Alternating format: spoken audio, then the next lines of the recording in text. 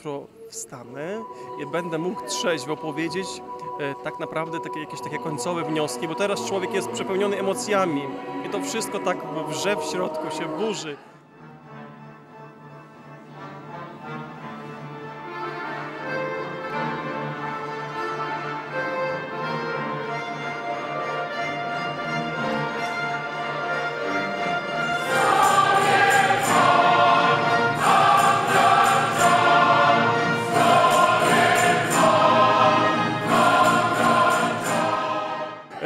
Dużo różnych myśli, dużo pomysłów powstało podczas wysłuchania tych orkiestr. Nie mieliśmy próby akustycznej.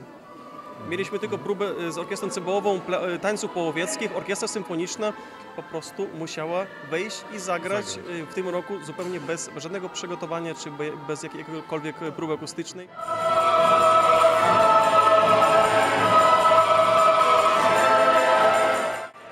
Mm, Dlatego są pewne, e, są pewne rzeczy, które widz- widziałem inaczej. Myślałem, że może, może teraz zabrzmi inaczej. E, Były też pewne niespodzianki dla mnie. Coś, co było takie trudne, zabrzmiało lekko i było efektownie wykonane. E, Także jakoś w czasie organizacji, przyznam się Państwu, byłem już w takim stanie, że powiedziałem żonie żadnego festiwalu.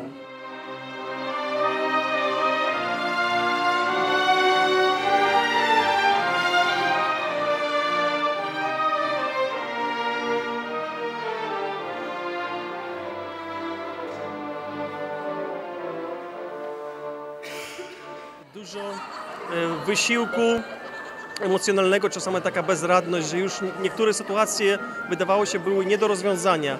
A teraz po tym koncercie jestem pełen jakiejś takiej nadziei, że może jednak się uda i przynajmniej trzeba planować, a zobaczymy, może wszystko będzie dobrze w następnym roku.